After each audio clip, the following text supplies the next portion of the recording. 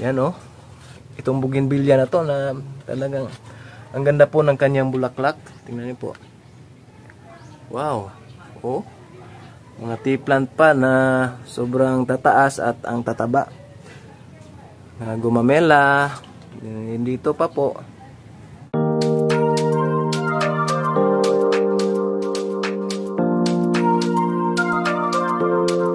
Magandang araw po sa inyo lahat mga bay and welcome again to my YouTube channel. So ngayong araw na to, meron na naman po tayong pupuntahang isang garden. Kaya samahan niyo po ako ngayong araw na to. So tara. Okay, ayan. So papasok na tayo dito. At makikita natin dito talaga sa kanilang daanan na sobrang dami pong mga halaman. At ang tataba po, tingnan niyo po dito. Ang mga gumamela po, yan. Nagtataasan, naglalakihan, nagtatabaan at sobrang lush.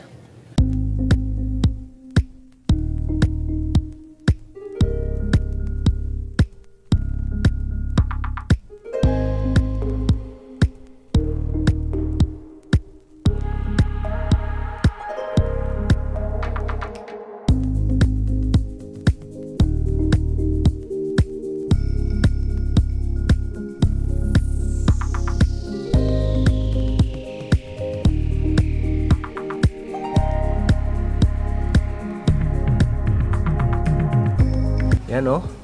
Itong bougainvillea na to na talagang ang ganda po ng kanyang bulaklak. Tingnan niyo po. Wow. Oh. Mga tea plant pa na sobrang tataas at ang tataba. Mga gumamela. Eh, Dito pa po.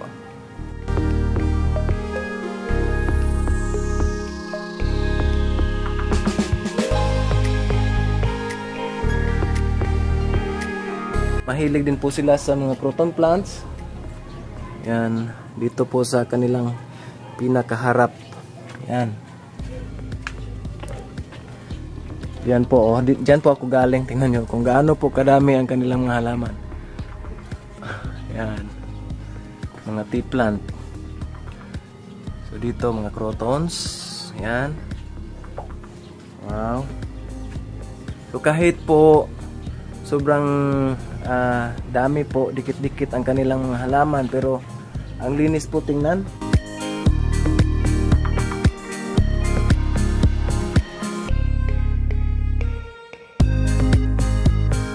Talagang makikita mo na nagsitaasan talaga ang ah, kanyang mga halaman. Parang hindi po mahilig magputol ng mga tanim ang may-ari dito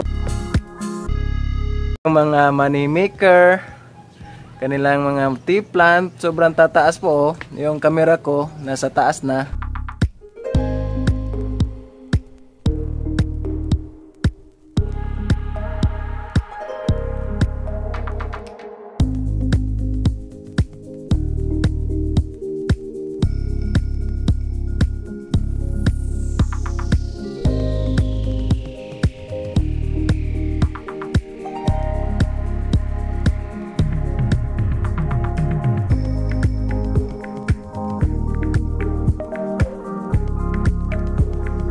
ay yan po yung bahay nila.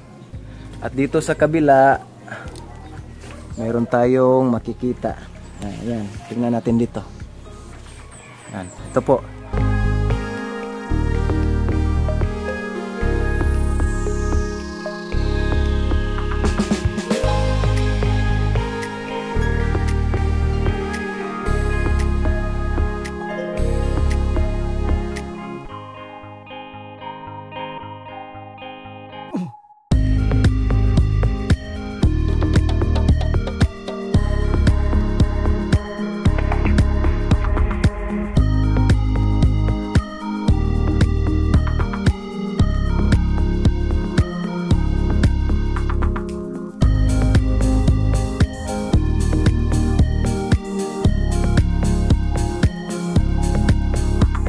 Busog na busog na ako dito sa mga halaman.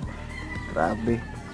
Sobrang ganda po talaga ng kanilang ano, front yard. Sarap balik-balikan dito. So, iba rin po ang style ni sir dito.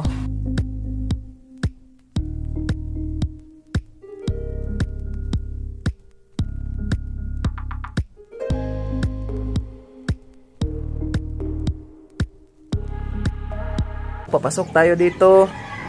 Merong ano po dito, space sa gitna.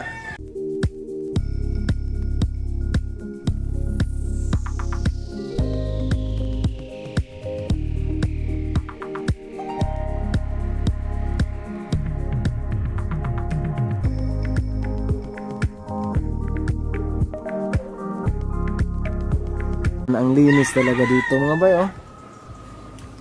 Parang halo siya sa gitna. At makikita natin dyan ang iba't ibang klaseng halaman.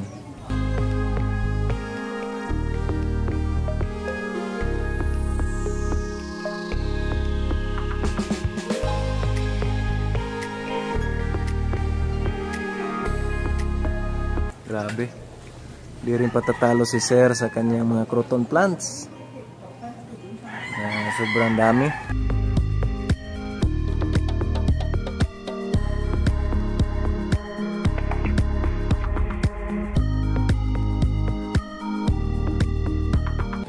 Ganitong bulaklak oh, common pero ano, maganda din pala pag marami yan. So mataas yung camera ko mga bay kasi matataas din po ang kanyang mga halaman dito. Wow! Sarap pagmasdan. Lalong-lalo na pag umaga.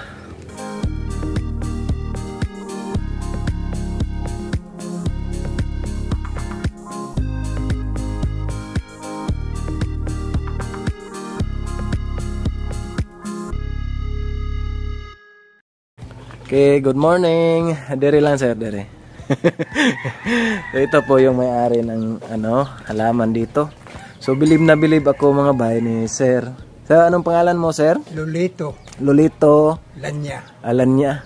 So siya pala si Sir Lolito Lanya.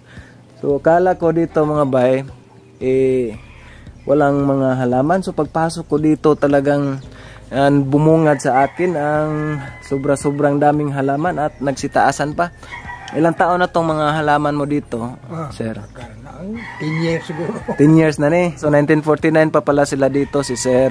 Ah, talagang makikita mo na ang effort ni Sir Lolito dito sa kanyang garden. Yan, so nagpapasalamat tayo, Sir. Salamat. Buti na lang po eh napanayam natin si Sir. So, welcome to my YouTube channel, Sir. Okay, salamat.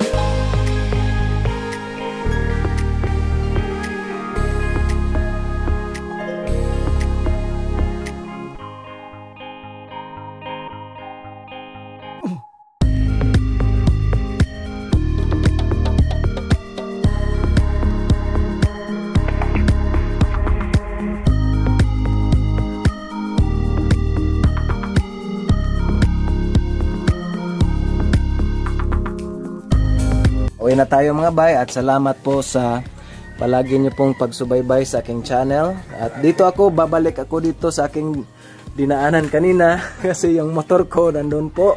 Kung nagustuhan niyo po ang video na to, mag-like, mag-share, mag-comment. At huwag pong kalimutang mag-subscribe sa aking channel para updated po kayo palagi sa mga videos na i-upload ko. So tandaan po, nalagaan po natin ang ating mga halaman dahil plant is life. Muli po, ito si Bay J. Magandang araw mga bay. So sila po, si anak, kisay nga ni mo te? Nelly. Ha? Nelly. Oh, Nelly. So tanawa akong YouTube channel te, so Bay J Vlog. Makita mo niya. Oh, karon ni nako eh, kuan upload. Ah, ah. Okay.